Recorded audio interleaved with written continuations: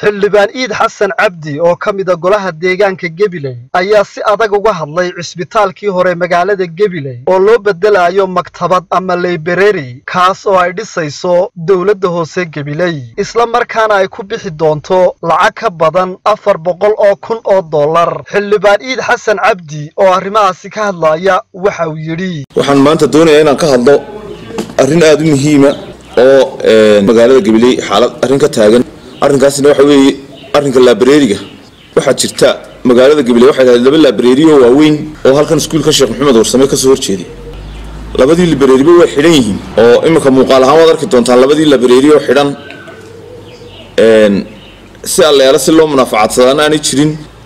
Waxaa maanta magaalada boodhadh waaweyn lagu soo dhajiyey oo xalay toole dhallinyarta lagu wacyigelinaya inay facebooka soo dhigaan oo macal kharash lagu bixinayay in dhakhtarkii weynaaye magaalada gabiley ay lahayd loo rogo libareeri la yidhaahdo halkaasaanu ka dhiganaa madxafkii wax lagu akhrisanayay ee lagu keydinaya bugaagta de marka la yidhahdo dhakhtar baa labareeri loo rogayaana.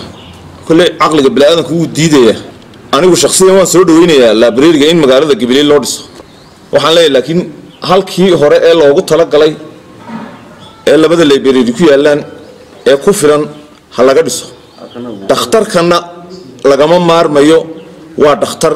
Iminka wuxuu magaalada u qabtaa waxa weeye dumarka umulisooyinka ayaa lagu baraa. Dumar fara badan baa ka soo baxay oo wax ku bartay oo neersnimo ku diyaariyey.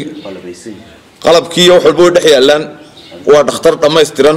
Markaa wasiirka caafimaadka waxaan leeyahay arrinkaa waa lagu hoos mariyey. Dee dhakhtar laabareeri loo rogo maynaan anaga wasiire bal arrinkaa ku noqo. Laabareerigana dhulla-aani ma hayso laba laabareeriyo waaweyn baa isku egyaalla halkaa ha laga dhiso.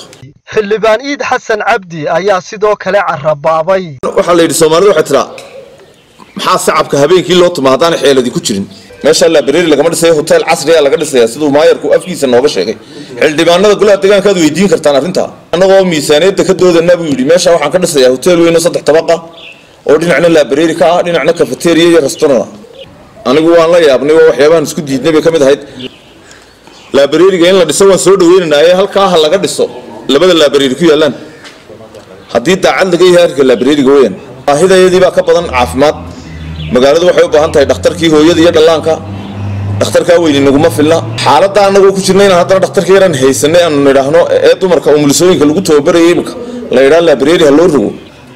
Waxaan anigu u arkaa caqliyadaasi inaanay sax ahayn. Meeshaana waxaa ku jira inay dan gaari ku jirta cadday dhismaha maktabadda gebiley ayaa ku soo beegmaya wakhti adag oo naafada gebile ka cabanayaan. Dayacnaan baahsan oo ka jirta baahiyaha aasaasiga u ah sida biyaha caafimaadka iyo waxbarashadaba. Dad waxaanu nahay ka mida bulshada oo ilaahay abuuray. Waxa weeyaan ninka cagaha qabaa wuxuu helo inaannu helno xaq baannu u leenahay ciyaalaanu dhalnay. Waxbarasho ma helaan ciyaaladooda horta dee waa baahi waxaa isku kaaya keenay somalilan haddii ay aqoonsato inteeda jilicda sanle iyo inteeda naafada iyo inteeda ma garanaysaa ee itaalka yar leh iyadana caalamkaa aqoonsanaya. Marka waxaanu leenahay madaxweyne cadaaladii iyo sinaantii walaal yah inaanu helnaanu doonaynaa waxaad moodaa in indhaha lanaga laabtay.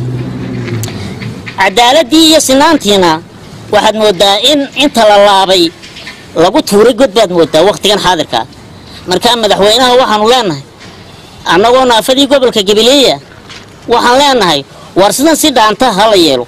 Haddii aan taa la helaynin dalalka jaarka qaxootinimo aanu isku dhiibnee nooli ha lanaga siiya dalka. Waa cabdirasaaq axmed hayaan ilka case star t v gebiley